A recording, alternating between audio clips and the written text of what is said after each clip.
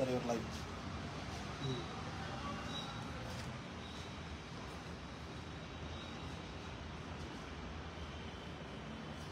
Hello, ನಮಸ್ಕಾರ. ಇವತ್ತು ಆರನೇ ವರ್ಷದ ಪ್ರಜಾಕೀಯ ದಿನ. ನಾನು ಮಾಡಿದ್ರು ನೀವು ಮರೆಯಲ್ಲ, ಜ್ಞಾಪಿಸ್ತಾ ಇರ್ತೀರಾ? ಯಾವಾಗಲೇ ಸೋಷಿಯಲ್ ಮೀಡಿಯಾ ಓಪನ್ ಮಾಡಿದ್ರೆ ಅದರಲ್ಲಿ ಬರ್ತಾನೆ ಇರುತ್ತೆ ನಿಮ್ಗಳ ಏನೋ ವಿಚಾರಗಳ ಏನೋ ಪ್ರಚಾರ ಮಾಡ್ತಾನೆ ಇದ್ದೀರಾ ನೀವು? ಗೊತ್ತಾ ಇದೆಯಾ? ಬಹಳ ಏನಂದ್ರೆ ಒಂದು ಆಶ್ಚರ್ಯಕರ ವಿಷಯ ಅಂದ್ರೆ ಈ ಒಂದು ಪ್ರಜಾಕೀಯನ ಕಾನ್ಸೆಪ್ಟ್ನ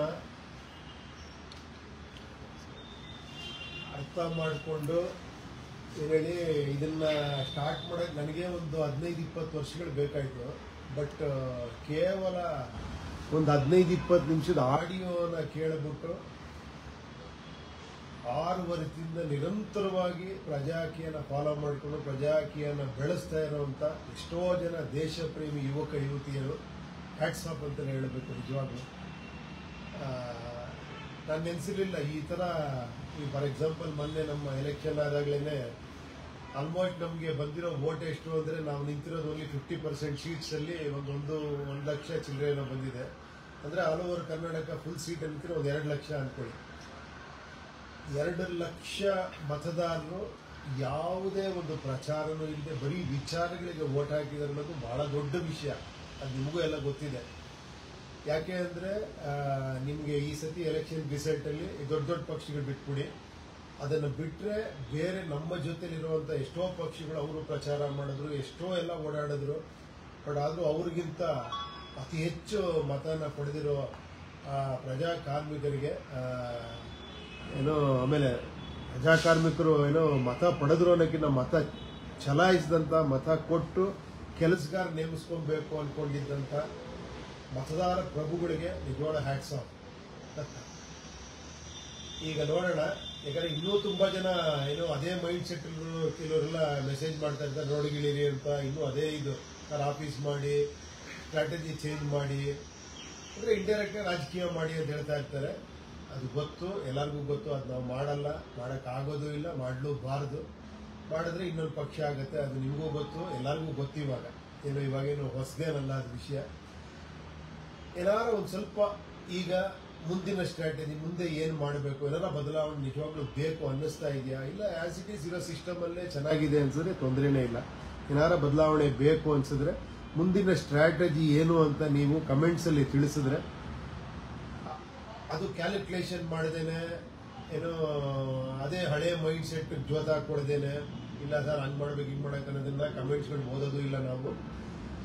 ಸ್ವಲ್ಪ ಏನ್ ಹೇಳಿ ಒಂದು ಇನ್ನೋಸೆನ್ಸ್ ಅಲ್ಲಿ ಒಂದು ನಿಜವಾದ ಒಂದು ವೈಚಾರಿಕತೆಯಿಂದ ಕೂಡಿರುವಂತ ಕೆಲವು ಕಮೆಂಟ್ಸ್ ಇದೆ ಅದ್ರ ಬಗ್ಗೆ ಮಾತ್ರ ಅನ್ಕೊಳ್ತೀನಿ ಅನ್ಕೊಂಡಿದ್ದೀನಿ. ನೋಡೋಣ.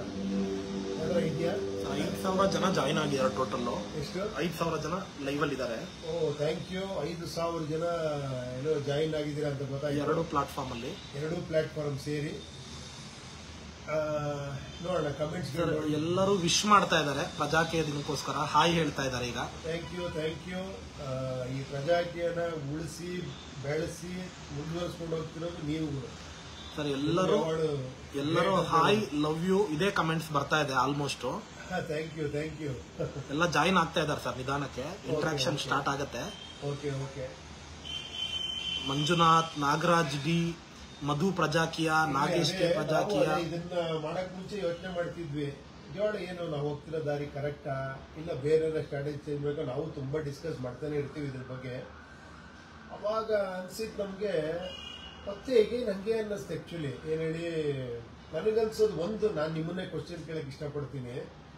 ನಿಮ್ಗೆ ಎಲ್ಲ ಎಲ್ಲರಿಗೂ ಗೊತ್ತಿದೆ ಯಾರಿಗೂ ಗೊತ್ತಿಲ್ಲದೆ ಏನಿಲ್ಲ. ಪೊಲಿಟಿಕಲ್ ಇಂಟ್ರೆಸ್ಟ್ ಇರೋರಿಗೆ. ಆಕ್ಚುಲಿ ಪೊಲಿಟಿಕಲ್ ಇಂಟ್ರೆಸ್ಟ್ ಎಲ್ರಿಗೂ ಇರಬೇಕು. ದುರದೃಷ್ಟ, ಎಷ್ಟೋ ಜನ ಪಾಲಿಟಿಕ್ಸ್ ಅಂದರೆ ವ್ಯಾ ಅಂತಾರೆ. ನನಗೆ ಅವ್ರ ಬಗ್ಗೆ ಏನು ಏನು ಹೇಳಬೇಕು ಅಂತಲೇ ಅರ್ಥ ಆಗಲ್ಲ. ಅವರೆಲ್ಲ ಭಾಳ ಬುದ್ಧಿವಂತರು ಅಂದ್ಕೊಂಡಿದ್ದಾರೆ ಪಾಪ ಅವ್ರಿಗೆ ಗೊತ್ತಾಗ್ತಿಲ್ಲ ಅವ್ರು ಮಾಡ್ತಿರೋ ತಪ್ಪುಗಳೇನು ಅಂತ. ಪೊಲಿಟಿಕಲಿ ಇಂಟ್ರೆಸ್ಟ್ ಇರಬೇಕು ಪ್ರತಿಯೊಬ್ಬ ದೇಶದ ಏನೋ ಈ ನಾಗರಿಕನಿಗೂ ಪಾಲಿಟಿಕ್ಸು ಇದ್ರ ಬಗ್ಗೆ ಇಂಟ್ರೆಸ್ಟ್ ಇರಬೇಕು. ಯಾಕಂದರೆ ನಿಮ್ಮ ತೆರಿಗೆ ಹಣ, ನಿಮ್ಮ ಆಡಳಿತ, ನಿಮ್ಮ ಭವಿಷ್ಯ ಇದ್ರಲ್ಲಿ ಇರೋದ್ರಿಂದ ಎಲ್ಲರಿಗೂ ಆ ಇಂಟ್ರೆಸ್ಟು ಇರಲೇಬೇಕು. ನಾವು ಯೋಚನೆ ಮಾಡ್ಬೇಕಾದ್ರೆ ಅನ್ನಿಸ್ತು ಇವಾಗ ಓಕೆ ಒಂದು ಟ್ವೆಂಟಿ ಟ್ವೆಂಟಿ ಫೈವ್ ಪರ್ಸೆಂಟ್ ನೇರವಾಗಿ ಈ ರಾಜಕೀಯ ವ್ಯವಸ್ಥೆಯಿಂದ ಲಾಭ ಪಡೆಯೋರಿದ್ದಾರೆ ಅವರಲ್ಲಿದ್ದಾರೆ. ತಪ್ಪೇ ಅಲ್ಲ. ಯಾಕಂದ್ರೆ ಅದು ಖಂಡಿತ ಅವ್ರ ಜೀವನ ಅದು. ಆಮೇಲೆ ಇನ್ನೊಂದು, ಅದರಿಂದ ಇಂಡೈರೆಕ್ಟ್ ಆಗಿ ಬೆನಿಫಿಟ್ ತೊಗೊಳೋದು ಒಂದು twenty percent twenty five percent ಇಟ್ಕೊಳ್ಳೋದು. ಫಿಫ್ಟಿ ಪರ್ಸೆಂಟ್ ಫುಲ್ಲು ರಾಜಕೀಯ ವ್ಯವಸ್ಥೆಯಲ್ಲಿ ಬೆನಿಫಿಟ್ ತೊಗೊಳ್ಳೋರು, ಅದರಿಂದ ಅಡ್ವಾಂಟೇಜ್ ತೊಗೊಳ್ಳೋರು ಒಂದಷ್ಟು ಜನ ಇರ್ಬೋದು. ಒಪ್ಕೋಣ ಅವ್ರನ್ನ ನಾವು ಬದಲಾವಣೆ ಮಾಡಿ, ಬದಲಾವಣೆ ಆಗಿ ಅಂತ ಹೇಳಲ್ಲ. ಯಾಕಂದ್ರೆ ಅವ್ರ ಜೀವನನೇ ಅದರಲ್ಲಿದೆ. ಒಪ್ಕೋಣ ಇನ್ನೊಂದು ಇಪ್ಪತ್ತೈದು ಪರ್ಸೆಂಟ್ ಜನ ಅಥವಾ ಒಂದು ಇಪ್ಪತ್ತು ಪರ್ಸೆಂಟ್ ಜನ ಐಡಿಯಾಲಜಿ ಮೇಲೆ ಆ್ಯಕ್ಚುಲಿ ಏನು ಹೇಳಿ, ಇವಾಗ ಏನೋ ರೈಟು ಲೆಫ್ಟು ಎಲ್ಲ ಏನೇನೋ ಆಗೋಗ್ಬಿಟ್ಟಿದೆಯಲ್ಲ. ಯಾರ ಹತ್ರ ಏನು ಮಾತಾಡಿದ್ರು ಕೂಡ ಇವ್ರು ರೈಟು ಅಂತಾರೆ, ಇಲ್ಲ ಲೆಫ್ಟು ಅಂತಾರೆ. ಸೆಂಟ್ರಲ್ಲಿ ಇರೋದ್ರೆ ಕಷ್ಟ ಆಗ್ಬಿಟ್ಟಿದ್ದಾರೆ ಇವಾಗ.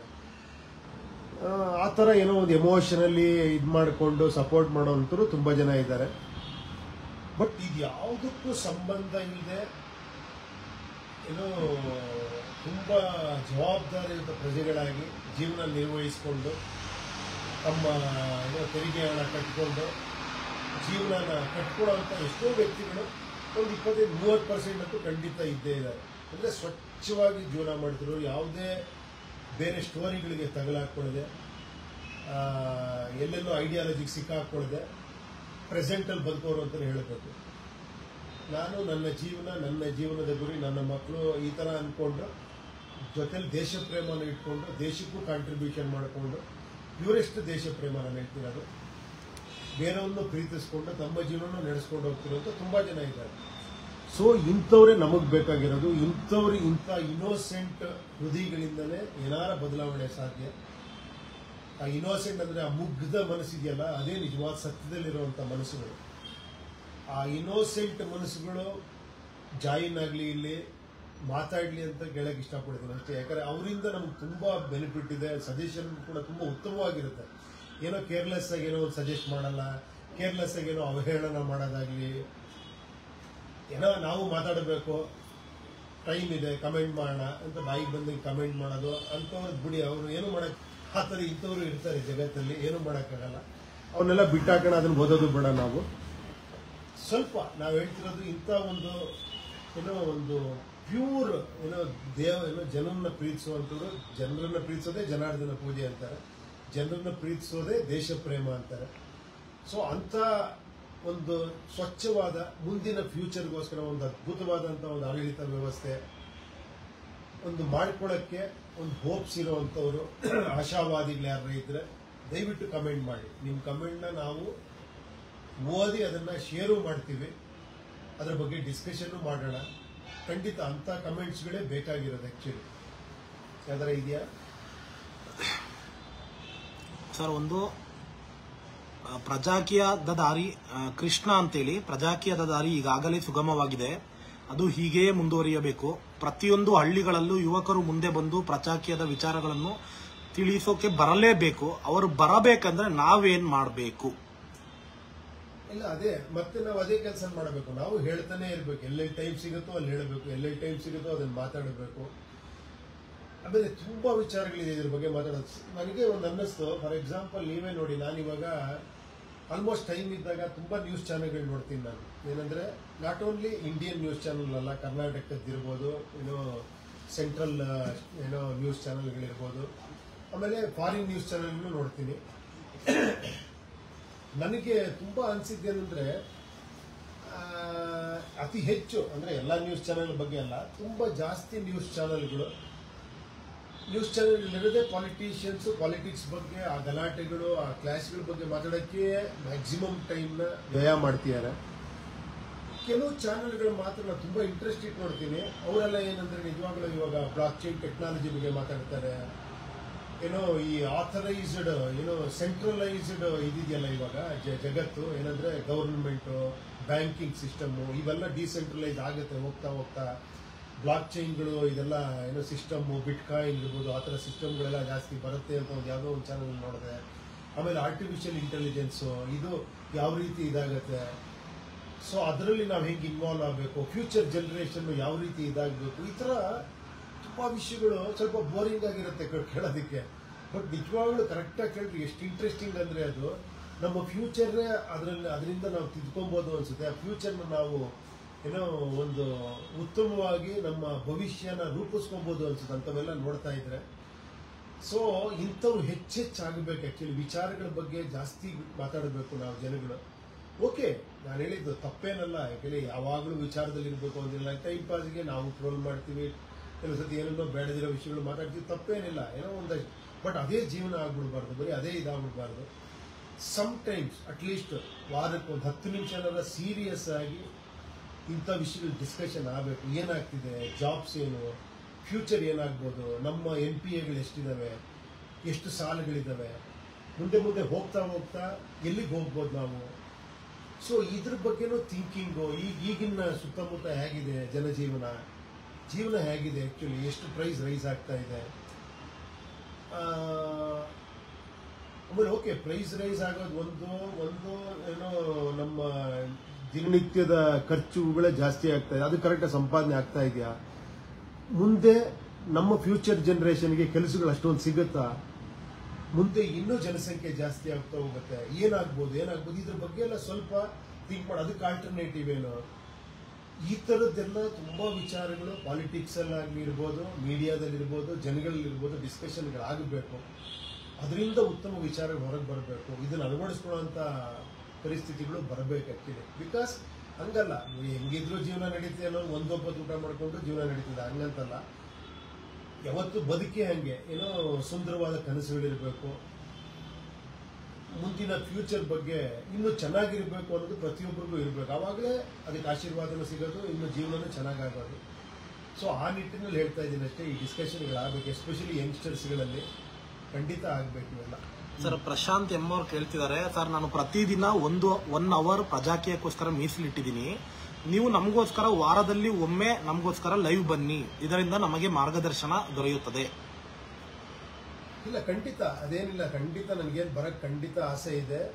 ಬಟ್ ಏನಂದ್ರೆ ಮತ್ತೆ ರಿಪೀಟೇಟಿವ್ ಆಗ್ಬಿಡ್ಬಾರ್ದು ಅಂತ ನಾನು ಹೇಳೋ ವಿಷಯಗಳು. ಯಾಕಂದ್ರೆ ಆಲ್ಮೋಸ್ಟ್ ನೋಡಿ ನಾನು ಮಾತಾಡಬೇಕಾದ್ರೆ ಆಲ್ಮೋಸ್ಟ್ ಎಲ್ಲ ವಿಷಯಗಳು ಮಾತಾಡಿರ್ತೀನಿ. ನಾನಿವಾಗ ನೋಡಿ ಲೈವ್ ಬಂದಿರೋದು ಅಷ್ಟೇ. ನಾನು ಮಾತಾಡೋದಕ್ಕೆ ಕೇಳೋಣ ಅಂತ. ಮತ್ತೆ ನೀವು ನಾನೇ ಮಾತಾಡಬೇಕು ಅಂತೀರಾ? ನನಗೆ ವಿಷಯಗಳು ತಿಳ್ಕೊಬೇಕು ಅಂತ ಆಸೆ ಇದೆ ನಿಮ್ಗಳಿಂದ.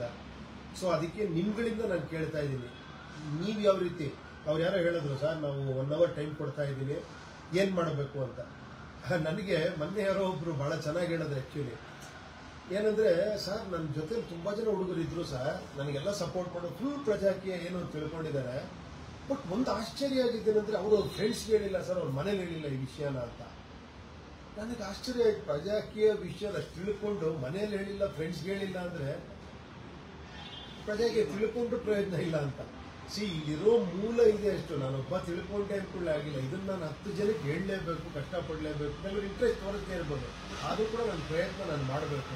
ಸಣ್ಣ ಒಂದು ಡಿಸ್ಕಷನ್ ನಡೀಲೇಬೇಕು. ಖಂಡಿತ ಆ ಥರ ಆಗ್ತಾ ಇರೋದು ತುಂಬ ಇದ್ದಾವೆ ನೋಡೋಣ ಇದೊಳ ಆ ಥರ ವಾರಕ್ಕೆ ಒನ್ ಅವರ್ ಟೈಮ್ ಕೊಡ್ತೀನಿ ಅಂತ ಹೇಳಿದ್ರಲ್ಲ, ತುಂಬ ಖುಷಿ ಅದು ಆ್ಯಕ್ಚುಲಿ ಆಮೇಲೆ ಒಂದು ತಿಳ್ಕೊಳ್ಳಿ, ಇನ್ನೂ ತುಂಬ ಜನ ಭಾಳ ಒಂದು, ನನಗೆ ಕೆಲವರು ಮೂರ್ಖತನದಲ್ಲಿ ಕಾಮೆಂಟ್ ಆಗ್ತಾರೆ. ಏನ್ ಸರ್ ಸೋತೋಗ್ತಾ ಇದ್ದೀರಾ ನೀವು ಅಂತ? ಅಂದ್ರೆ ಅವ್ರಿಗೆ ಅರ್ಥ ಆಗ್ತಿಲ್ಲ ಸೋಲ್ತಿರೋದು ಅವರು ಅಂತ. ನನ್ನ ಸೋಲು ಗೆಲ್ಲು ಅಂದ್ಕೊಂಡ್ಬಿಟ್ಟಿದ್ದಾರೆ ಪ್ರಜಾಕೀಯನ. ಬಟ್ ಅದು ಬೇಗ ಅರ್ಥ ಆಗಲಿ ಅಷ್ಟೇ. ಏನೋ ಅದು ಡಿಸಾಸ್ಟ್ರಸ್ ಆದಾಗ ಎಲ್ಲವೂ ಏನೇಳಿ ತುಂಬಾ ಅಧ್ವಾನದ ಪರಿಸ್ಥಿತಿ ಹೋದಾಗ ಅರ್ಥ ಆಗಿರೂ ಕೂಡ ಪ್ರಯೋಜನ ಆಗಲ್ಲ. ಬೇಗ ಅರ್ಥ ಮಾಡಿಕೊಂಡು ಬೇಗ ಜಾಗರೂಕರಾಗೋದು ಬೆಟ್ರು ನಾವೆಲ್ಲ.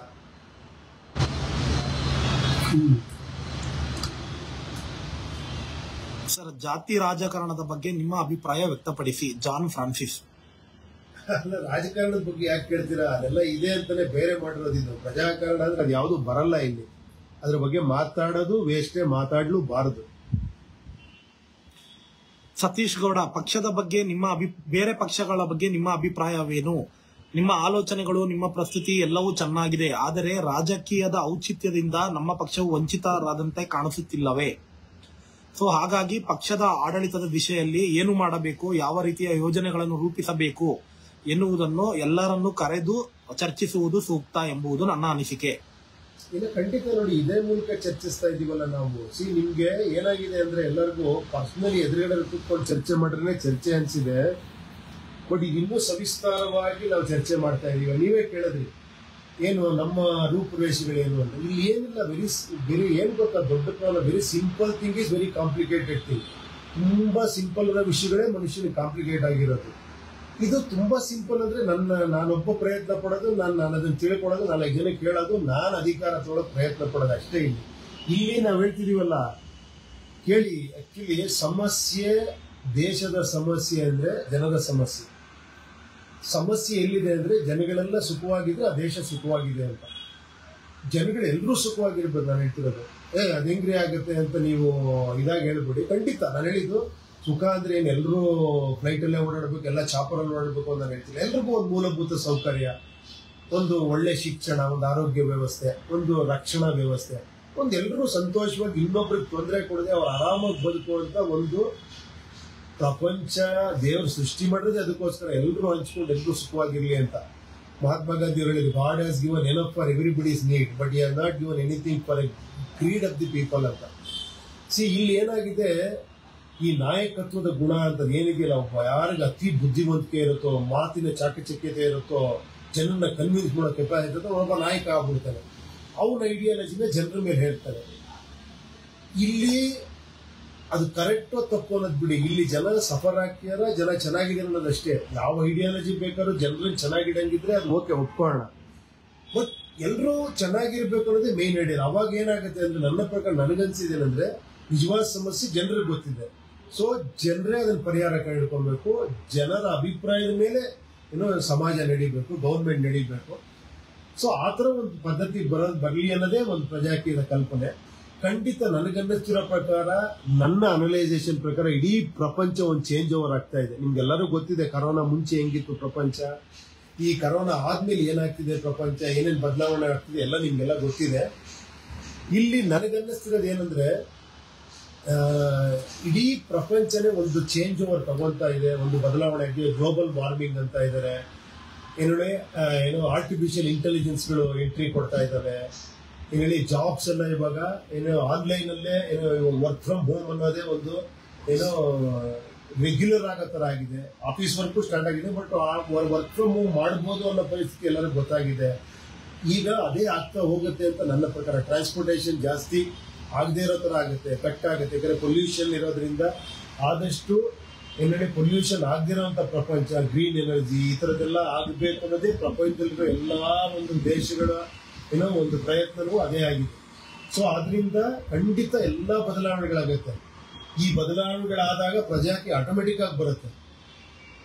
ಎರಡೇ, ನೀವು ಒಂದಲ್ಲ ಒಂದಿನ ನಾನು ಇರ್ತೀನಿ ನೀವು ಇರ್ತೀರ ನೋಡಿ ಬೇಕಾದ್ರೆ ಖಂಡಿತ ಈ ಬದಲಾವಣೆ ಟೆಕ್ನಾಲಜಿ ಇಂದ ಏನೋ ತಂತ್ರಜ್ಞಾನದಿಂದ ಜ್ಞಾನ, ಜ್ಞಾನದಿಂದ ಸತ್ಯ, ಸತ್ಯದಿಂದ ಸತ್ಯಯುಗ ಎಲ್ಲ ಬರುತ್ತೆ ಖಂಡಿತ. ನೋಡೋಣ ಆಕ್ಚುಲಿ ಅದಕ್ಕೆ ಮುಂಚೆ ನಾವು ಪ್ರಯತ್ನ ಪಡ್ತಿದ್ದೀವಿ ಏನೋ ನಾವು ಮುಂಚೆನೆ ಇದಾದ್ರೆ ಒಂದು ಬದಲಾವಣೆ ಇಲ್ಲಿಂದನೂ ಶುರುವಾಗ್ಬೋದು. ಗೊತ್ತಿಲ್ಲ. ಸರ್ ಸ್ವಲ್ಪ ವಾಯ್ಸ್ ಜಾಸ್ತಿ ಮಾಡ್ಕೊಳ್ಳಿ. Sir Deepak B N Upendra sir your thoughts are really good and towards improving society but our people will take another twenty thirty years to accept the reality of Prajakeeya because our political parties made them like this ಯಾವುದು ಒಳ್ಳೇದು ಯಾವುದು ಕೆಟ್ಟದು ಅಂತ ಜನ ಗುರುತಿಸೋದಕ್ಕೆ ಕಷ್ಟಪಡ್ತಿದ್ದಾರೆ. ಅಂತವರಿಗೆ ನಿಮ್ಮ ಕಿವಿ ಮಾತು ಏನು? ಅಲ್ಲ, ಇರ್ಬೋದು. ಅದೊಂದು ಒಂದು ರೀತಿ ಯೋಚನೆ ಮಾಡೋ ರೀತಿ ಏನಂದ್ರೆ ಇಲ್ಲ, ಜನ ಹಾಳಾಗೋಗಿದ್ದಾರೆ, ಜನ ಸರಿ ಇಲ್ಲ, ಜನ ಸರಿ ಇಲ್ಲ ಅಂತ ಎಲ್ಲರೂ ಅನ್ಕೊಂಡು, ನಾನು ನಿಮ್ಮನ್ನ ಬೈತಾ ಇರ್ತೀನಿ, ನೀವು ಇನ್ನೊಬ್ಬನ್ ಬೈತಿರ್ತೀರಿ ಇನ್ನೊಬ್ಬ ಮತ್ತೊಬ್ಬನ್ ಬೈತಿರ್ತೀರಿ ಎಲ್ಲರೂ ಒಂದೇ ದಾರಿಲಿ ಹೋಗ್ತಾ ಇರ್ತೀವಿ. ಸಿ ಇದು ಬದಲಾವಣೆಗೆ ದೊಡ್ಡ ಕ್ಲಿಷ್ಟಕರವಾದಂತ ಒಂದು ಸಂಗತಿ ಏನಂದ್ರೆ ಇಲ್ಲ, ನನಗೊಂದು ಹೋಸ್ ಬರೋ ಇಲ್ಲ, ಜನ ಚೆನ್ನಾಗಿದ್ದಾರೆ, ಜನರಿಗೂ ಅರ್ಥ ಆಗುತ್ತೆ, ಜನಕ್ಕೆ ಸತ್ಯ ಅರ್ಥ ಆಗುತ್ತೆ, ಜನ ಬುದ್ಧಿವಂತರು ಅಂತ ನಾನು ಯೋಚನೆ ಮಾಡ್ಬೇಕು ಮಾಡೋ ಒಂದು ಇದರಿಂದನೇ ನಾನು ಪ್ರಯತ್ನ ಪಟ್ಟಿದ್ದು. ಇಲ್ಲ ಹೋಪ್ಸೇ ಇಲ್ಲದೆ ಇದ್ರೆ ಏನು ಮಾಡೋಕ್ಕೆ ಆಗಲ್ಲ. ಜನನ ಬೈಕೊಂಡು ನಾನು ಕೊಡ್ತಿದ್ದೆ. ಏನೋ ನೀವು ಅಷ್ಟೇ, ಜನ ಸರಿ ಇಲ್ಲ, ಜನ ಸರಿ ಇಲ್ಲ. ಕೊನೆಗೆ ನಾನು ಜನ ಅಂತ ಗೊತ್ತಾಗೋ ಅಷ್ಟರಲ್ಲೇ ಡಿಸಾಸ್ಟರ್ಸ್ ಆಗೋಗಿರುತ್ತೆ. ಸಿ ಹಂಗೆ ಆಗಬಾರ್ದು ಖಂಡಿತ ಒಂದೆಲ್ಲ ಒಂದು ಹೋಪ್ಸ್ ಇಟ್ಕೊಬೇಕು ನಾವು. ಖಂಡಿತ ಹೌದು, ರಾಜಕೀಯ ಇಷ್ಟು ವರ್ಷ, ಎಪ್ಪತ್ತು, ಎಪ್ಪತ್ತೈದು ವರ್ಷದ ಇಡೀ ಎಪ್ಪತ್ತೈದು ವರ್ಷ ಬಿಡಿ, ಇಡೀ ಪ್ರಪಂಚ ಹುಡ್ದಾಗಿಂದ ಈ ನಾಯಕ ಸಂಸ್ಕೃತಿ. ಹೇಳಿ, ಆಗ್ಲಿಂದ ಹೇಳಿ, ಒಂದಷ್ಟು ಸ್ಟೋರೀಸ್ಗಳು ಜನಕ್ಕೆ. ಆ ಸ್ಟೋರೀಸ್ ಅಲ್ಲೇ ಇದ್ಕೊಂಡು ಅವರು ಐಷಾರಾಮಿ ಜೀವನಗಳು, ಆ ಬಡವ ಶ್ರೀಮಂತ ಅನ್ನೋ ಒಂದು ಭೇದ ಭಾವ, ಅದೆಲ್ಲ ಅವಾಗಿಂದ ಸ್ಟಾರ್ಟ್ ಆಗಿ ಯಾವತ್ತೂ ಏನೇಳಿ ಒಂದು ಬಲಿಷ್ಠ ವರ್ಗ ಇದೆಯಲ್ಲ, ಯಾವತ್ತೂ ಕೂಡ ಕಂಟ್ರೋಲ್ ತಗೊಳ್ತಾನೆ ಇರುತ್ತೆ. ಈ ಈ ಇನೋಸೆಂಟ್ ಪಾಪದವ್ರು ಯಾವತ್ತೂ ಕೂಡ ಅವ್ರು ಹಂಗೆ ಇರ್ತಾರೆ ಆಕ್ಚುಲಿ ಇದು ಬ್ಯಾಲೆನ್ಸ್ ಮಾಡೋದಕ್ಕೆ ಈ ಪ್ರಪಂಚದಲ್ಲಿ ಎಲ್ಲ ಬದಲಾವಣೆಗಳು ಆಗ್ತಾ ಇರೋದು. ಸೊ ಅದು ಆಗ್ತಾನೆ ಇರುತ್ತೆ ನಿರಂತರವಾಗಿ. ಅದಾದ್ಮೇಲೆ ಡೆಮಾಕ್ರೆಟಿಕ್ ಸಿಸ್ಟಮ್ ಅಂತ ಬಂತು. ಸಾರಿ ಅದಾದ್ಮೇಲೆ ಒಂದು ಡೆಮಾಕ್ರೆಟಿಕ್ ಸಿಸ್ಟಮ್ ಅಂತ ಬಂತು. ಅಲ್ಲಿ ಪ್ರಜಾಪ್ರಭುತ್ವ ಅಂತ ಬಂತು. ಅಲ್ಲಿ ಒಂದು ವೋಟಿಂಗ್ ರೈಟ್ಸ್ ಅಂತ ಜನಕ್ಕೆ ಕೊಟ್ಟರು. ಬಟ್ ಅದು ಕೂಡ ವೋಟಿಂಗ್ ರೈಟ್ಸ್ ಇವಾಗ ಮತ್ತೆ ಅದೇ ಹಣ, ಅದೇ ಪ್ರಚಾರ, ಅದೇ ಮೀಡಿಯಾ, ಅದೇ ಹೈಪು ಅದೇ ಮತ್ತೆ ಜನಕ್ಕಿರುವಂತ ಒಂದು ವೀಕ್ನೆಸ್ ಎಲ್ಲ ಒಂದು ದೊಡ್ಡದಾಗ ಒಂದು ಸೆನ್ಸೇಷನ್ ಕ್ರಿಯೇಟ್ ಮಾಡಿದಾಗ ಎಲ್ಲ ಆ ಕಡೆ ತೇಲೋಗೋದು ಅಲ್ಲೂ ಮತ್ತೆ ಜನ ಸರಿ ಇಲ್ಲ. ನೋಡ್ರಿ ಎಲ್ಲರೂ ಅದ್ರ ಬಗ್ಗೆನೇ ಥಿಂಕ್ ಮಾಡ್ತೀನಿ ನಾನು ಯಾಕೆ ಒಬ್ಬ ಸಪ್ರೇಟ್ ಆಗಲಿ ಅಂತ? ನಾನು ಅಲ್ಲೇ ಹೋಗ್ಬಿಡೋದಿದೆಯಲ್ಲ. ಇದೇ ಪ್ರಾಬ್ಲಮ್ ಆಗ್ತಿರೋದು. ಖಂಡಿತ ಅದರಿಂದಲೂ ಒಂದು ಬದಲಾವಣೆ ಆಗುತ್ತೆ. ಒಂದು ಪ್ರಯತ್ನ ಅಷ್ಟೇ. ನೋಡಿ, ನಾವು ಇಷ್ಟು ವರ್ಷದಲ್ಲಿ ನಾವು ಒಂದು ಐದಾರು ವರ್ಷದಲ್ಲಿ ಕರೆಕ್ಟ್ ಆಗಿ ನಿಂತಿರೋದು ನಾವು ಈ ಎಲೆಕ್ಷನ್ಗೆ ಈ ಎಲೆಕ್ಷನ್ ಒಂದು ಒಂದೂವರೆ ಎರಡು ಲಕ್ಷ ಜನ ಬದಲಾವಣೆ ಆಗಿ ಏನೋ ಒಬ್ಬ ಆಟೋ ಡ್ರೈವರ್ ಇಂದ ಹಿಡಿದು ಒಬ್ಬ ಟೈಲರ್ ಇಂದ ಹಿಡಿದು ಪ್ರತಿಯೊಬ್ಬರು ಬಂದು ನಾನು ಎಲೆಕ್ಷನ್ ನಿಂತ್ಕೊಳ್ತೀನಿ ಅಂತ ನಿಂತ್ಕೊಂಡು ಮನೇಲೆ ಕುತ್ಕೊಂಡು ಪ್ರಚಾರನೆ ಮಾಡಿದೆ, ಮೂರು ಸಾವಿರ, ಎರಡು ಸಾವಿರ, ನಾಲ್ಕು ಸಾವಿರ ಓಟ್ ತಗೊಂಡಿದ್ದಾರೆ ಅಂದ್ರೆ ಬಹಳ ದೊಡ್ಡ ವಿಷಯ ಇದು. ಖಂಡಿತ ಆತರ ಯೋಚನೆ ಮಾಡಿ. ಇದು ಹಿಂಗೆ ಇವಾಗ ಇವತ್ತು ಒಂದು ಲಕ್ಷ ಒಂದ್ ಕೋಟಿ ಆಗ್ಬೋದು. ನೆಕ್ಸ್ಟ್ ಇನ್ನೂ ಜಾಸ್ತಿ ಆಗ್ಬೋದು. ಖಂಡಿತ ಆಗುತ್ತೆ. ನಮ್ಮ ಪ್ರಯತ್ನ ನಿರಂತರವಾಗಿ ಸಾಗ್ತಾ ಇರ್ಬೇಕಷ್ಟೇ ಸರ್ ಸಂಪತ್ ವಿ ಗೌಡ ಅಂತೇಳಿ ಪ್ರಜಾಕೀಯ ಜನರ ಮನ ತಲುಪಿದೆ ಮನೆ ತಲುಪಿಲ್ಲ. ಮನೆ ತಲುಪಿಸುವ ಕೆಲಸ ನಮಗೆ ಬಿಡಿ. ಆದರೆ ಜನರ ನಿರೀಕ್ಷೆನೆ ಬೇರೆ ಇದೆ. ಲಾಜಿಕ್ ಬಿಟ್ಟು ಫ್ಯಾಕ್ಟ್ ಮಾತಾಡಿದ್ರೆ ನನ್ನ ಬಳಿ ಉತ್ತರ ಇಲ್ಲ. ನಿಮ್ಮ ಬಳಿ ಕ್ವಶನ್ ಮಾರ್ಕ್ ಲಾಜಿಕ್ ಬಿಟ್ಟು ಫ್ಯಾಕ್ಟ್? ಅಂದ್ರೆ ಲಾಜಿಕ್ ಲಾಜಿಕ್ಕೇ ಫ್ಯಾಕ್ಟ್ ಅಲ್ವಾ? ಲಾಜಿಕ್ ಬೇರೆ ಫ್ಯಾಕ್ಟ್ ಬೇರೆ ನನಗೆ ಅರ್ಥ ಆಗಿಲ್ಲ. ಕರೆಕ್ಟ್, ಮನ ತಲುಪಿದೆ ಅಂದ್ರೆ ಮೇಲೆ ಮನೆ ತಲುಪೇ ತಲುಪುತ್ತೆ ಅಂತ ನನಗೆ. ಮನೆ ತಲುಪಿ, ಮನ ತಲುಪಿಲ್ಲ ಅಂದ್ರೆ ಡೇಂಜರಸ್ ಅದು. ಮನ ತಲುಪಿದೆ ಅಂದ್ರೆ ಅದು ಒಂದಲ್ಲ ಒಂದಿನ ಮನೆ ತಲುಪುತ್ತೆ, ಮನೆ ಮನೆಗೂ ತಲುಪುತ್ತೆ ಅದು ಖಂಡಿತ. ಸರ್, ಪ್ರಜಾಕೀಯದ ಆಡಳಿತ ಬಂದ ನಂತರ ಎಲ್ಲಾ ವರ್ಗದ ಉದ್ಯಮಗಳು ಪಾರದರ್ಶಕವಾಗಲೇಬೇಕು. ಏಕೆಂದರೆ ಮೊದಲೇ ಒಂದು ಪ್ರಜಾಕೀಯದ ಮಾಡೆಲ್ ಅನ್ನೇ ಉದ್ಯಮವಾಗಿ ಪರಿವರ್ತನೆ ಏಕೆ ಮಾಡಬಾರದು? ಪ್ರಜಾಕೀಯನ ಉದ್ಯಮನ. ಹಾ ಸರ್ ಪ್ರಜಾಕೀಯದಿಂದ ಒಂದು ಯಾವ್ದಾದ್ರು ಬಿಸ್ನೆಸ್ ಸ್ಟಾರ್ಟ್ ಯಾಕೆ ಮಾಡಬಾರ್ದು ಅಂತ ಕೇಳ್ತಾ ಇದ್ದಾರೆ ಮಹಾದೇವ ಸ್ವಾಮಿ ಅನ್ನೋರು. ಒಂದು ಪಾರದರ್ಶಕವಾದ ಯಾವ್ದಾದ್ರು ಒಂದು ಉದ್ಯಮ.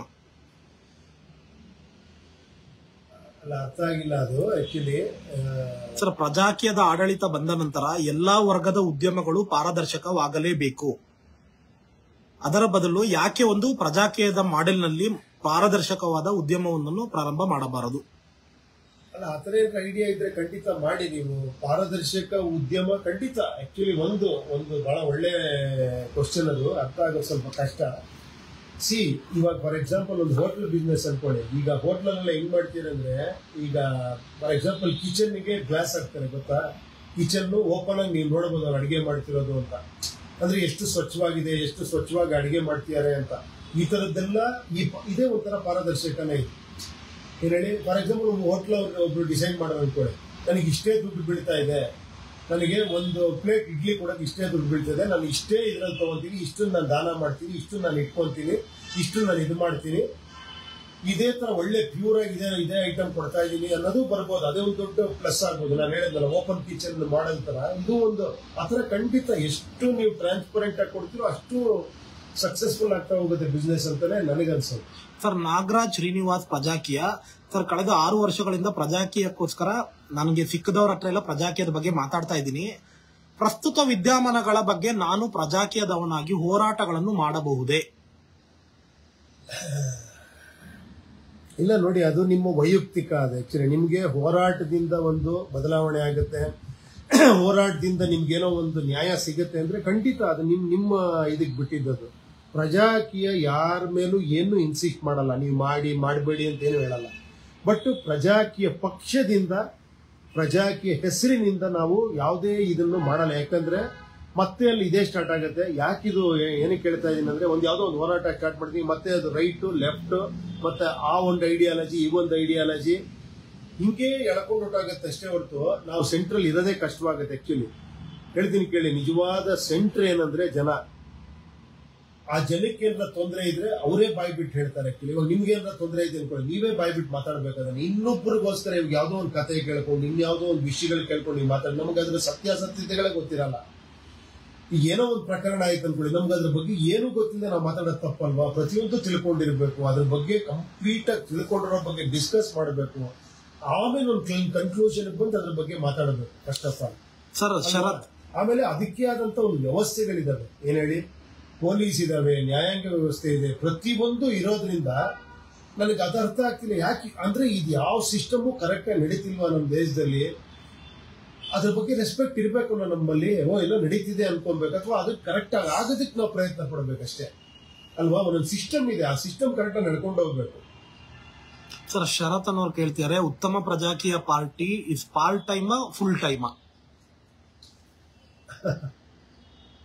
ಅಲ್ಲ ಅದು ಬಿಡಿ ಈ ತರ ಕ್ವಶನ್ಗಳಿಗೆ ಏನು ಆನ್ಸರ್ ಮಾಡಕ್ಕೆ ನವೀನ್ ರಾಜ್.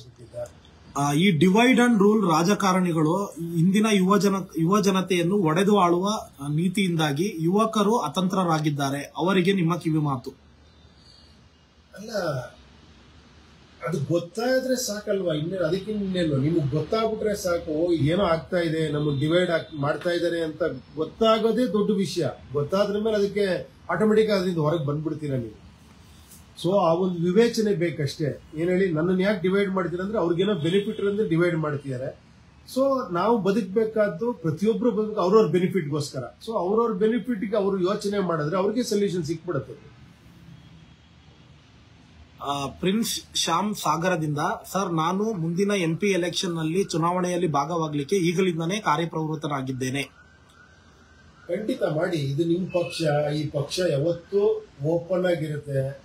ಈ ಪಕ್ಷ ನೋಡಿ ಆಕ್ಚುಲಿ ನಿಮ್ ಕೈಲೇ ಇದೆ. ಈ ಮೊಬೈಲ್ ಓಪನ್ ಮಾಡ್ರೆ ನಿಮ್ ಪಕ್ಷ ನಿಮ್ ಕೈಲಿರುತ್ತೆ. ಆ ಪಕ್ಷದ ಐಡಿಯಾಲಜಿ ನಿಮ್ ಕೈಲಿರುತ್ತೆ. ಅದು ನಿಮ್ದೇ ಐಡಿಯಾಲಜಿ ನಿಮ್ದೇ ಇದು. ಸೊ ಅಲ್ಲಿ ಎಂಟರ್ ಆಗೋದು, ನೀವೇ ಎಂಟರ್ ಆಗ್ಬೋದು. ಅಲ್ಲಿ ಸೆಲೆಕ್ಷನ್ ಕೂಡ ಜನನೇ ಮಾಡ್ತಾರೆ. ಓಕೆನಾ ಇದನ್ನ ಅರ್ಥ ಮಾಡ್ಕೊಂಡ್, ತುಂಬಾ ಜನ ಅರ್ಥ ಮಾಡ್ಕೊಂಡಿದ್ದಾರೆ. ಬಟ್ ಅರ್ಥ ಮಾಡ್ಕೊಂಡ್ಬಿಟ್ರೆ ಅಷ್ಟೇ ಅಷ್ಟೇ ಈಸಿ ಅದು. ಇದು ನಿಮ್ ಪಕ್ಷ ಆದ್ರಿಂದ ಇಲ್ಲಿ ಯಾವ ಹೈಕಮಾಂಡ್ ಇಲ್ಲ. ನಾವ್ಯಾರು ಟಿಕೆಟ್ ಕೊಡೋದು ನಿಮ್ಗಲ್ಲ. ನಿಮ್ಗೆ ಜನ ಒಪ್ಪಿದ್ರೆ ಜನ ನೀವು ನಂಬಿಸಿದ್ರೆ ಜನ ನೀವು ಏನೋ ನೀವು ಒಳ್ಳೆ ವರ್ಕ್ ಮಾಡ್ತೀರಾ ಅಂತ ಅವ್ರಿಗೆ ಕನ್ವಿನ್ಸ್ ಆದ್ರೆ ಅವ್ರು ಶಿಫಾರಸ್ ಮಾಡ್ತಾರೆ ಆಟೋಮೆಟಿಕ್ ನಿಮ್ಗೆ ಬಿ ಏನೋ ಬಿ ಫಾರಂ ಕೊಡ್ತೀವಿ. ಅಷ್ಟೇ ಇಲ್ಲಿ ನಡೀತಾ ಇರೋದು. ಸರ್ ನಿತಿನ್ ಪೂಜಾರಿ ಸರ್ ನನಗೆ ಉತ್ತಮ ಪ್ರಜಾಕೀಯ ಪಕ್ಷದ ಬೈಲಾದ ಬಗ್ಗೆ ಮಾಹಿತಿ ಬೇಕು. ಬೈಲಾದ ಖಂಡಿತ. ಏನಂದ್ರೆ as it is election commission ಏನ್ ಪ್ರೊಸೀಜರ್ ಇದೆಯೋ ಅದೇ ತರ ಬೈಲಾಗಳಿದ್ದಾವೆ ಎಲೆಕ್ಷನ್ ಕಮಿಷನ್ ಪ್ರತಿಯೊಂದು ಪಾರ್ಟಿಗೊಂದು ಪ್ರೊಸೀಜರ್ ಇರುತ್ತೆ. ಒಂದು ಈ ತರ ಕಾನ್ಸ್ಟಿಟ್ಯೂಷನ್ ಅಲ್ಲಿ ಹಿಂಗಿರ್ಬೇಕು ನಾಲ್ಕು ವರ್ಷಕ್ಕೆ ಒಂದು ಎಲೆಕ್ಷನ್ ಆಗಬೇಕು ಅದು ಜನರಲ್ ಬಾಡಿ ಮೀಟಿಂಗ್ ಆಗುತ್ತೆ. ಅದರಲ್ಲಿ ಎಲ್ಲರೂ ಸೇರಿ ಫೌಂಡರ್ ಮೆಂಬರ್ಸ್ ಅಂತ ಎಲ್ಲ ಸೇರ್ತೀವಿ ನಾವು. ಸೇರಿದಾಗ ಅವರೆಲ್ಲ ಯುನಾನಿಮಸ್ ಆಗಿ ಇವರು ಪ್ರೆಸಿಡೆಂಟ್ ಇವ್ರು ಸೆಕ್ರೆಟರಿ ಇವ್ರು ಟ್ರೆಜರರ್ ಅಂತ ಎಲೆಕ್ಟ್ ಮಾಡ್ತಾರೆ. ಸೊ ಅದು ನಡ್ಕೊಂಡು ಹೋಗ್ತಾ ಇದೆ. ಇದಿಷ್ಟೇ ಬೈಲಲ್ಲಿರೋದು ಇಷ್ಟೇ. ಇದೇ ತರ ಇದೆ ನಮ್ಮ ಬೈಲಲ್ಲೂ ಕೂಡ. ಸರ್, ಎರಡರಲ್ಲೂ ತಗೊಂತಾ ಇದೀವಿ. ಸರ್ ಯೂನಿಫಾರ್ಮ್ ಸಿವಿಲ್ ಕೋಡ್ ಬಗ್ಗೆ ಸ್ವಲ್ಪ ಮಾತಾಡ್ಬೋದಾ ನೀವು?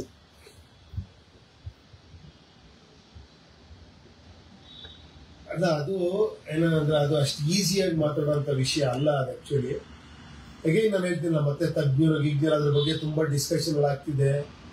ಯಾವುದಕ್ಕೆ ಯೂನಿಫಾರ್ಮ್ ಬೇಕು ಎಲ್ಲಿ ಯೂನಿಫಾರ್ಮ್ ಇಲ್ದಿರೋದು ಚೆನ್ನಾಗಿದೆ. ಸೊ ಆ ಥರ ತುಂಬ ವಿಷಯಗಳಿದೆ. ಅದನ್ನ ನಾವು ಈಸಿಯಾಗಿ ಇಲ್ಲಿ ಏನೇಳಿ ಸೋಷಿಯಲ್ ಮೀಡಿಯಲ್ಲಿ ಕೂತ್ಕೊಂಡು ಮಾತಾಡೋಂಥ ಮ್ಯಾಟ್ರು ಅಲ್ಲ. ಆ, ಅಂತೋಷ್ ಖಂಡಿತ ಸರ್ ಬದಲಾವಣೆ ಆಗೇ ಆಗುತ್ತೆ. ಜನರು ವಿಚಾರವಂತರಾಗುತ್ತಿದ್ದಾರೆ. ಎಲ್ಲಾ ಕ್ಷೇತ್ರದಲ್ಲಿ ಜನರು ಈಗ ರಾಜಕೀಯ ಪ್ರಜಾಕೀಯದ ಬಗ್ಗೆ ಚರ್ಚೆ ಮಾಡುತ್ತಿದ್ದಾರೆ. ಈ ಬದಲಾವಣೆ ಆದಷ್ಟು ಬೇಗ ಆಗಲಿ ಅಂತ ನಾವು ಕೂಡ ಹಾರೈಸುತ್ತಿದ್ದೇವೆ. ಪ್ರಜಾಕೀಯ ದಿನದ ಶುಭಾಶಯಗಳು. ಸಂಪತ್ ವಿ ಗೌಡ. ಸರ್ ಪ್ರಜಾಕೀಯನೇ ನಮ್ಮ ಎಲ್ಲಾ ಉತ್ತರಗಳಿಗೆ ಪ್ರಶ್ನೆ ಧನ್ಯವಾದಗಳು. ಅಂಬಿ ಪ್ರಜಾಕೀಯ. ಸರ್ ಪ್ರಜಾಕೀಯ ಸತ್ಯಯುಗಕ್ಕೆ ದಾರಿ ತೋರಿಸಿ ಕೊಟ್ಟಿದೆ ಧನ್ಯವಾದಗಳು. ಸರ್ ತುಂಬಾ ಜನ ಧನ್ಯವಾದಗಳು ಹೇಳ್ತಿದ್ದಾರೆ. ಒಂದ್ಸಲ ಕಾಮನ್ ಆಗಿ ಎಲ್ರಿಗೂ ಧನ್ಯವಾದಗಳು ಹೇಳ್ಬಿಡಿ ಸರ್. ತುಂಬಾ ಸಂತೋಷ. ನೋಡೋಣ ಆದಷ್ಟು ಇನ್ಮೇಲೆ ನಿಮ್ ಜೊತೆ ಸಂಪರ್ಕದಲ್ಲಿ ಪ್ರಯತ್ನ ಪಡ್ತೀನಿ. ಯಾಕಂದ್ರೆ ಇವಾಗ ನಂದು ಯು ಐ ಶೂಟಿಂಗ್ ಆಲ್ಮೋಸ್ಟ್ ಮುಗ್ದಿದೆ. ಎಡಿಟಿಂಗ್ ನಡೀತಾ ಇದೆ. ಅದ್ರದ್ದು ನೆಕ್ಸ್ಟ್ ಪೋಸ್ಟ್ ಪ್ರೊಡಕ್ಷನ್ ವರ್ಕ್ ಎಲ್ಲ ನಡೀತಾ ಇದೆ. ಅದಾದ್ಮೇಲೆ ಬುದ್ಧಿವಂತ ಅದು ಸಾಂಗ್ ಬ್ಯಾಲೆನ್ಸ್ ಇದೆ. ಅದ್ರದ್ದು ಶೂಟಿಂಗ್ ಇದೆ. ಸೊ ಈ ವರ್ಕ್ ಇರೋದ್ರಿಂದ ಈ ಒಂದು ಎರಡು ಮೂರು ತಿಂಗಳು ಸ್ವಲ್ಪ ಅದ್ರಲ್ಲಿ ಬಿಸಿ ಇರ್ತೀನಿ ನಾನು. ಬಿಸಿ ಇದ್ದೇ ಇರ್ತೀನಿ. ಇನ್ನೊಂದ್ ಎರಡು ಮೂರು ತಿಂಗಳು ಬಿಸಿ ಇರ್ತೀನಿ. ಖಂಡಿತ. ಏನಂದ್ರೆ, ಆ ಪಿಕ್ಚರ್ ಮುಗಿತಿದಂಗೆ ಎಷ್ಟು ನನಗೆ ಟೈಮ್ ಸಿಗುತ್ತೋ ಅಷ್ಟು ಟೈಮ್ನು ಕೂಡ ನಾನು ಬೇರೆ ಯಾವುದಕ್ಕೂ ನಾನು ಯೂಸ್ ಮಾಡ್ತೀನಿ ನನ್ನ ಟೈಮ್ನ ಇದಕ್ಕೆ ಯೂಸ್ ಮಾಡ್ತಾ ಇದ್ದೀನಿ ನಾನು. ಆದಷ್ಟು ನಿಮ್ ಸಂಪರ್ಕದಲ್ಲಿ ಇರ್ತೀನಿ. ನೋಡೋಣ. ಮುಖತಾನು ಕೂಡ ಭೇಟಿ ಆಗೋಣ. ಮತ್ತೆ ಸಿಗೋಣ. ತುಂಬಾ ಸಂತೋಷ ಆಯ್ತು. ಏನೋ ಈ ಇದು, ಇದನ್ನ ಹಿಂಗೆ ಮುಂದುವರಿಸ್ಕೊಂಡು ಹೋಗಿ ಆಶಾ ಭಾವನೆ ಇರಲಿ. ಖಂಡಿತ ಯಾವತ್ತೂ ನಮ್ಗೆ ಯಾವುದೋ ಒಂದು ಮನಸ್ಸಿಗೆ ಸಂತೋಷ ಕೊಡ್ತಿದೆ ಅಂತ ಅದ್ರಲ್ಲಿ ನಾವು ಮುಂದುವರಿಬೇಕು. ತುಂಬಾ ಜನಕ್ಕೆ ಈ ಪ್ರಜಾಕೀಯ ಮನಸ್ಸಿಗೆ ಸಂತೋಷ ಕೊಡ್ತೀವಿ ಎಲ್ಲದಕ್ಕಿಂತ ದೊಡ್ಡ ಗೆಲುವು ಅದು. ನಾವೊಂದು ಏನೋ ಒಂದು ಸತ್ಯವಾದ ಒಂದು ದಾರಿಯಲ್ಲಿ ಹೋಗ್ತಾ ಇದೀವಿ ಚೆನ್ನಾಗಿದೆ ಅನ್ನಿಸಿದಾಗ ಅದರಲ್ಲೇ ಮುಂದುವರಿಬೇಕು. ಅದು ಖುಷಿ ಕೊಡ್ತಿದೆ ಅಂದ್ರೆ. ಓಕೆ ಅಕಸ್ಮಾತ್ ನಮ್ಗೆ ಇದು ಬೋರ್ ಆಗ್ತಿದೆ, ಇದ್ರಲ್ಲಿ ನಮಗೆ ಸಕ್ಸಸ್ ಸಿಗ್ತಾ ಇಲ್ಲ. ಬೇಗ ಒಂದು ಸಕ್ಸಸ್ ಸಿಗ್ಬೇಕು ಅಂದ್ರೆ ಖಂಡಿತ ಬೇರೆ ರಾಜ ಮಾರ್ಗಗಳು ದೊಡ್ಡದಾಗಿದೆ. ಯಾರು ನಿಮ್ಮನ್ನು ತಡಿಯಕ್ಕೆ ಯಾರು ಇಲ್ಲ ಆರಾಮಾಗಿ ನೀವು ಹೋಗ್ಬೋದು. ಓ, ಯಾರಿಗೆ ನಿಮ್ಗೆ ಕರೆಕ್ಟ್ ಅನ್ಸುತ್ತೋ, ಇದು ಸಂತೋಷ ಕೊಡ್ತೀವಿ. ನಿಮ್ಮ ಮನೇಲಿ ಡಿಸ್ಕಸ್ ಮಾಡಿ ನಿಮ್ಮ ಫ್ರೆಂಡ್ಸ್ ಜೊತೆ ಡಿಸ್ಕಸ್ ಮಾಡಿ, ಚಿಕ್ಕದಾಗಿ ಡಿಸ್ಕಸ್ ಮಾಡಿ, ಅವಾಗ ಅವ್ರಿಗೆ ಅರ್ಥ ಆಗುತ್ತೆ. ಇದನ್ನ ಹೇಳಿ ಆಕ್ಚುಲಿ ಎಲ್ಲರೂ ಹೇಳ್ತಾರಲ್ಲ ಆಫೀಸ್ ಮಾಡಿ, ಪ್ರಚಾರ ಮಾಡಿ ಅಂದಾಗ ಇದನ್ನ ನೀವು ಮಾತಾಡ್ಬೋದು ಆಕ್ಚುಲಿ ಎಲ್ಲಿಗೆ ಹೋಗಿ ಮುಟ್ಟತ್ತದ್ದು? ಎಲ್ಲಾ ಪಕ್ಷಗಳು ಕೂಡ ಹಂಗೆ ಆಗಿರೋದಲ್ಲ. ಅವ್ರೇನು ತಪ್ಪಲ್ಲ. ಅದೇ ಇದೇ ತರ ಏನೋ ಪ್ರಚಾರ ಮಾಡಿನೇ ಜನನ ಮುಟ್ಟಬೇಕು ಅಂತ ಹೋಗಿ, ಗೆಲ್ಲಬೇಕು ಅಂತ ಹೋಗಿ ಇವತ್ತು ಕಮರ್ಷಿಯಲ್ ಆಗ್ಬಿಟ್ಟಿದೆ ಪ್ರತಿಯೊಂದು ಕೂಡ. ಪ್ರತಿಯೊಂದು ಕಮರ್ಷಿಯಲ್ ಆದಾಗ ಮತ್ತೆ ಶಕ್ತರು ಜಾಸ್ತಿ, ಏನೋ ಅದರಿಂದ ಬೆನಿಫಿಟ್ ತಗೊಂತಾನೆ ಹೋಗ್ತಾರೆ. ಮುಗ್ಧರು, ಅಮಾಯಕರು ಆಕ್ಚುಲಿ ಏನೋ ಅದರಿಂದ ಸಫರ್ ಆಗ್ತಾನೆ ಹೋಗ್ತಾರೆ. ಸೊ ಅದು ಆಗಬಾರ್ದು ನಾವು ಇಷ್ಟು ರಿಸ್ಟ್ರಿಕ್ಟ್ ಮಾಡ್ಕೊಂಡಿದ್ದೀವಿ. ನಿಧಾನ ಆದರೂ ಪರವಾಗಿಲ್ಲ ಅನ್ನೋದಕ್ಕೋಸ್ಕರ. ಸೊ ಇದು ನಿಮಗೂ ಗೊತ್ತಿರಲಿ, ಆದಷ್ಟು ನೀವು ಜನಕ್ಕೆ ಹೇಳ್ತಾ ಇರಿ. ಖಂಡಿತ ಒಂದಲ್ಲ ಒಂದಿನ ಇದು ಸ್ಫೋಟಗೊಳ್ಳುತ್ತೆ ನೋಡ್ತಾ ಇರಿ. ಅಷ್ಟು ದೊಡ್ಡದಾಗಿ ಏನೋ ಇಡೀ ಕರ್ನಾಟಕ ಬಿಗಿದು ಒಪ್ಕೊಳತ್ತಿದ್ದನ್ನ ಒಂದು ಕಡೆ ಇದೇನಾರ ಬದಲಾವಣೆ ಆಗ್ಬಿಟ್ರೆ ಆಟೋಮೆಟಿಕ್ ಆಗಿ ಇಡೀ, ಏನೋ ಇಂಡಿಯಾನೇ ಬದಲಾವಣೆ ಆಗ್ಬಿಡುತ್ತೆ ನನ್ನ ಪ್ರಕಾರ. ಆ ಥರ ಈ ವಿಚಾರವಂತರು ಬರ್ತಾರೆ ಸಂಬಳಕ್ಕೋಸ್ಕರ ಕೆಲಸ ಮಾಡ್ತಾರೆ, ಜನಾಭಿಪ್ರಾಯ ಮುಖ್ಯ ಆಗುತ್ತೆ. ಆಮೇಲೆ ಒಂದು ಜನಾಭಿಪ್ರಾಯ ಕೂಡ ತುಂಬಾ ಜನ ಅನ್ಕೊಂತಾರೆ, ಸರ್, ಯಾವ್ಯಾವ್ದೋ ಅಭಿಪ್ರಾಯ ಕೇಳ್ಬಿಟ್ರೆ ಏನೇನೋ ಆಗ್ಬಿಡುತ್ತಲ್ಲ ಅಂತ. ಹಂಗೆ ಎಲ್ಲಾ ಅಭಿಪ್ರಾಯನೂ ಕೇಳೋದಲ್ಲ. ಇಲ್ಲಿ ನಾವು ಜನಾಭಿಪ್ರಾಯ ಕೇಳೋದು ಜನಕ್ಕೆ ಏನ್ ಬೇಕಾಗಿದೆಯೋ, ಜನಕ್ಕೆ ಒಳ್ಳೇದೇನಿದೆಯೋ ಅವರ ಟ್ಯಾಕ್ಸ್ ಮನಿ ಅವ್ರಿಗೆ ಬೇಕಾಗಿರೋ ಇನ್ಫ್ರಾಸ್ಟ್ರಕ್ಚರ್ ಎಜುಕೇಶನ್ ಇದ್ರ ಬಗ್ಗೆ ಮಾತಾಡ್ತೀವಿ ಅಷ್ಟೇ ಹೊತ್ತು ಜಾತಿ, ಧರ್ಮ ಅಥವಾ ಇನ್ಯಾವುದೋ ಒಂದು ಬೆಳೆದಿರೋ ವಿಷಯಗಳು, ಈ ತರದೆಲ್ಲ ಜನಾಭಿಪ್ರಾಯ ತಗೊಂಡ್ರೆ ಅದಕ್ಕೆ ನೆವರ್ ಎಂಡಿಂಗ್ ಮತ್ತೆ. ಸಿ ಆ ತರ ಆಗಲ್ಲ ಅದು ಆಕ್ಚುಲಿ ಅಲ್ಲೂ ಕೂಡ ಒಂದು ತಜ್ಞರ ಸಮಿತಿ ಇರುತ್ತೆ. ಅದರಿಂದ ಏನೋ ಇದಾಗಿರುವಂತ ವಿಷಯಗಳೇನೆ ನಾವು ಜನಾಭಿಪ್ರಾಯದ ಮುಂದೆ ಇಡೋದು. ಸೊ ಈ ತರ ಏನೋ ಎರಡು ಬ್ಯಾಲೆನ್ಸ್ ಆದಾಗ ತುಂಬಾ ಒಂದು ಅದ್ಭುತವಾದ ಬದಲಾವಣೆ ಆಗುತ್ತೆ ಅನ್ಕೊಂಡಿದೀವಿ ಖಂಡಿತ ಮತ್ತೆ ಸಿಗೋಣ. ಥ್ಯಾಂಕ್ ಯು ಆದಷ್ಟು ನಿಮ್ ಸಂಪರ್ಕದಲ್ಲಿರ್ತೀನಿ ನೀವು ಮೆಸೇಜ್ ಮಾಡ್ತಾರೆ ನೀವು ಹಂಚ್ಕೊಂತಾ ಇರಿ ಇದನ್ನ. ಬಟ್ ನಾನಂತೂ ನೋಡಿದೀನಿ, ಆರು ವರ್ಷದಿಂದ ನಾನು ಯಾವತ್ತೇ ಸೋಷಿಯಲ್ ಮೀಡಿಯಾ ಓಪನ್ ಮಾಡಿದಾಗ ನನಗೆ ಪ್ರಜಾಕೀಯ ಕಾಣುತ್ತಿರೋ ದಿನನೇ ಇಲ್ಲ. ಯಾರೋ ಒಬ್ರು ಏನೋ ಒಂದು ಪೋಸ್ಟ್ ಮಾಡ್ತಿರೋದು, ಒಂದು ಒಂದೇನೋ ಒಂದಷ್ಟು ವರ್ಡ್ಸ್ಗಳಾಗ್ತಾ ಇರ್ತಾರೆ, ಅದ್ಭುತವಾಗಿ ಅದನ್ನು ಶೇರ್ ಮಾಡ್ತಾ ಇರ್ತಾರೆ. ಇನ್ಸ್ಟಾಲು ಕೂಡ ನಾನು ರಿಕ್ವೆಸ್ಟ್ ಮಾಡ್ತೀನಿ. ಇನ್ಸ್ಟಾ ಎಲ್ಲ ಸ್ವಲ್ಪ, ಏನೋ ಯೂತ್ಫುಲ್ ಇದು. ಫೇಸ್ಬುಕ್ ಅಲ್ಲಿ ನಾನು ಜಾಸ್ತಿ ನೋಡ್ತೀನಿ ಇನ್ಸ್ಟಾದಲ್ಲಿ ಸ್ವಲ್ಪ ಜಾಸ್ತಿ ಏನ್ ಹೇಳಿ ಸಾಂಗು ಡ್ಯಾನ್ಸು ಈ ತರದ್ದೇ ಇರುತ್ತೆ. ಅಲ್ಲೂ ಕೂಡ ಒಂದು ಸ್ವಲ್ಪ ಇಂಟ್ರೆಸ್ಟಿಂಗ್ ಆಗಿ ವಿಚಾರ ಹಂಚ್ಕೊಳ್ಳಿ. ಇನ್ಸ್ಟಾಲಿ ಜಾಸ್ತಿ ಯುವಕರನ್ನ ತಲುಪ್ಬೋದು ನಾವು. ದಯವಿಟ್ಟು ಅಲ್ಲೂ ಕೂಡ ಈ ಒಂದು ಬದಲಾವಣೆಗೆ ಒಂದು ದಾರಿ ಮಾಡೋಣ. ಎಲ್ರಿಗೂ ಧನ್ಯವಾದ. ಥ್ಯಾಂಕ್ ಯು ಪ್ರಜಾಕೀಯ ದಿನಕ್ಕೆ ಎಲ್ಲರಿಗೂ ಶುಭಾಶಯ ಕೋರ್ತಾ. ನಿಮ್ಮೆಲ್ಲರಿಗೂ ಒಳ್ಳೆಯದಾಗಲಿ ಥ್ಯಾಂಕ್ ಯು ಥ್ಯಾಂಕ್ ಯು ನಮಸ್ಕಾರ.